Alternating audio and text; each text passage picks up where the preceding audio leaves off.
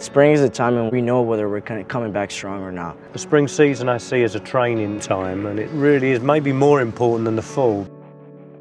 In the spring, what we're trying to do is prep our team for the fall. We get to get back on our feet and come back in the fall strong.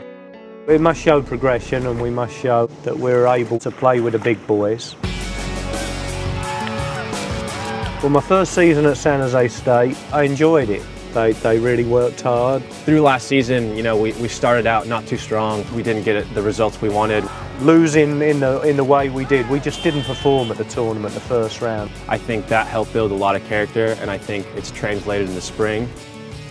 Spring's a little bit different than the fall here at San Jose. You're limited to the number of games you play. In the fall, you play up to 22, 23 games. For spring, you only play up to seven games. It's more about developing. Basically, we get a lot better technically, and we get a lot better athletically as well. You prepare yourself, prepare yourself, prepare the players, then you play a game. We have much more time to work with our players because we have fewer games sports performance team become a lot more important this time of year. They can really go after it. Having Coach Nicolini and a team that take care of the boys, it's a huge advantage. I'm involved in all the aspects of their nutrition, uh, warm-up, rehab, uh, conditioning, strength, speed, acceleration. He's very open to, to hear what we expect from our players. He does his research on soccer and everything's really relative to what we do, trying to maintain us to prevent injury and then to help us get even bigger, stronger and faster. He really pushed me to go above. We really get after it every day. This is my time to really go with these guys. When you get stronger, when you get fitter, uh, when you get more endurance, more stamina, now you get more confident. Can that filter into the technical side? I absolutely believe it can. We do a lot of technical work. We break things down all the way to the tactical aspect of the game, and we have the chance of doing that in beats and pieces and build up for the fall season. One, two, three, five.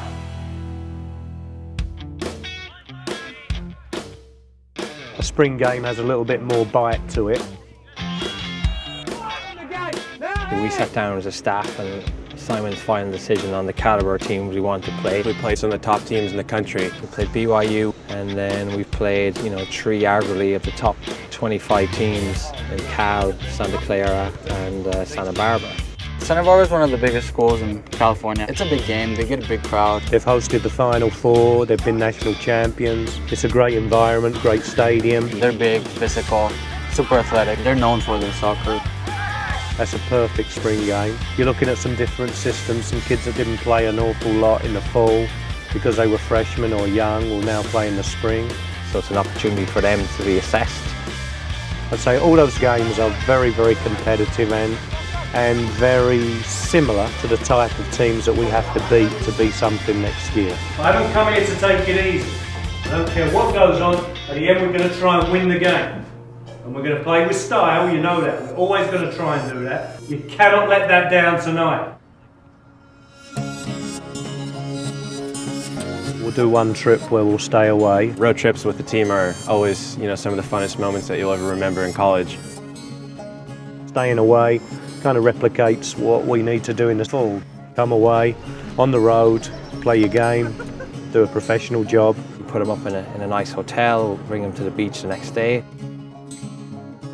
Simon broke out the cricket set. Doing something different, a different sport like cricket, can really bring the group together. 99% of them have never played before, so they've got to get their head around that. Simon, his referee, is just like horrible. His judgment on refing cricket uh, was, I think, below par.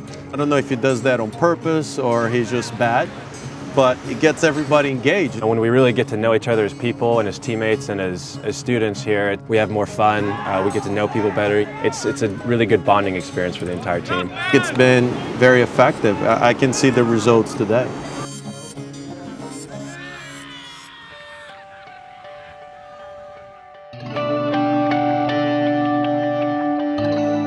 As a team, you know, we want to build on goals every year in this spring. The six games are very important going towards next year. We know going into the fall what can be better. So next year, you know, we're going to try to set ourselves up to succeed. We're going to try to win the WAC. Would mean that you're one of the top 50 in the country.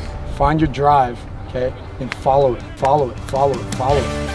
I have everything in place to be a successful team. That we've never looked more comfortable together and starting to really just hit our game and understand what it is we need to do individually and for the team. You see them just a little bit more confident in the way they carry themselves, the way they enter the field. We're better this year and we are going to win the conference. I mean, we're trying to get our name out there. I mean, trying to make a great program out of ourselves, and it's possible with the players we have and the great coaching staff. We're going to make San Jose State stand as one of the top 20, 25 schools in the nation. And everything we've done now is, is going to help us in the fall, and I think next fall is going to be something really special.